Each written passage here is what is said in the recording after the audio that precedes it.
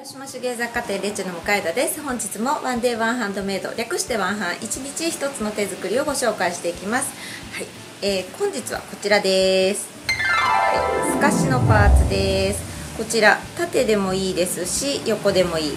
はい、とっても便利なパーツになります。透かし本当に便利なのでいろいろこれから作り方簡単なのをご紹介していきたいんですけど、えー、今日はですねたまたま実店舗に来られたまたまじゃないね 結構何度もイベントにも店舗にも、えー、来てくださってるお客様が、えー、小花のパーツがあるんですけどこれを使って何かピアスを作りたいということで、え一緒に考えてできた作品をご紹介したいと思いますでは早速どうぞ。っていきたいと思います。まずピアスの金具と小花パーツ透かしパーツ丸カン。はいこの4つの材料でできます。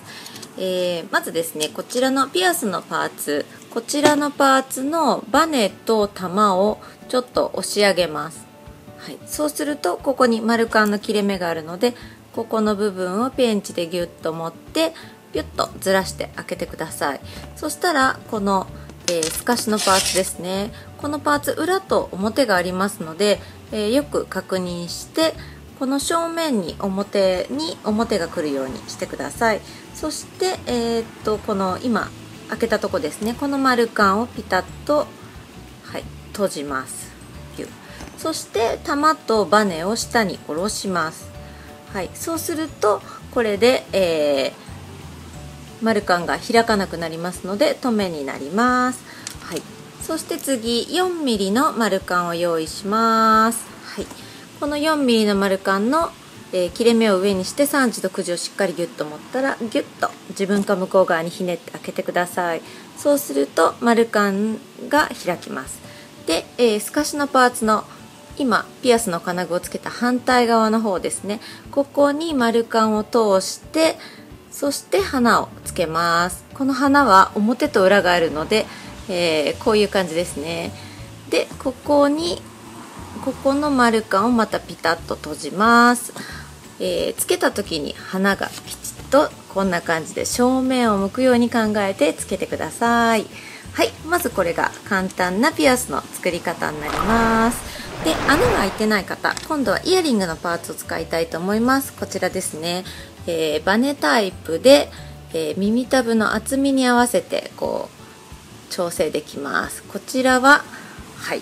でここの丸いところですね。ここが開きますのでちょっとペンチで半分丸カンの半分を取ってちょっとだけひねってください。あんまりやるとパキって折れちゃうので気をつけてください。えー、ここ開けたら先ほどと同じこの透かしのパーツですね。この上の部分を、えー、ここに入れます。この時注意するのは透かしのパーツが、えー、正面表を向くように考えてください。で、え金具をピタッと閉じます。はい。そして先ほどと同じようにここからは、え一緒ですけど丸カンを 4mm 用意して切れ目を上にして3時と9時を持ちます。ギュッと開いたら丸カンが開きますので、えー、先ほどのイヤリングのパーツをつけてない反対側の透かしの、えー、下のところの穴ですね。ここに、えー、この小鼻のパーツをつけます、え小鼻のパーツをつける時は出来上がりが正面に表が向くように考えてつけてください。で丸カンをピタッと元に戻したらはいこんな感じで完成になります。イヤリングバージョンと、え、ピアスバージョン、はい。え、揺れますし小鼻でちょっと可愛いと思います。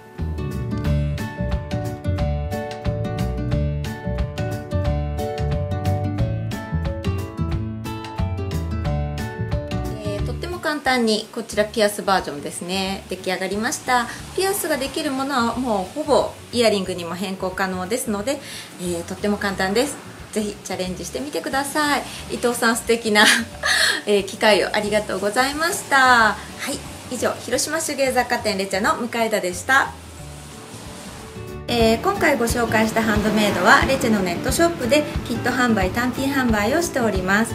ネットショップの方では、えー、その他たくさんの動画も配信しておりますのでぜひひらがなでレチェと検索してご覧ください、えー、YouTube では新しいハンドメイドの簡単な作り方を、えー、随時どんどん配信しておりますので、ぜひチャンネル登録の方よろしくお願いいたします、えー、こんなのが見たいというリクエストもお気軽にお寄せください。商品につきましてもこんなの入れてほしいとか、まあ、こんなのありませんかとかいうお問い合わせもぜひお寄せください、えー、以上広島手芸雑貨店レチェの向田でした。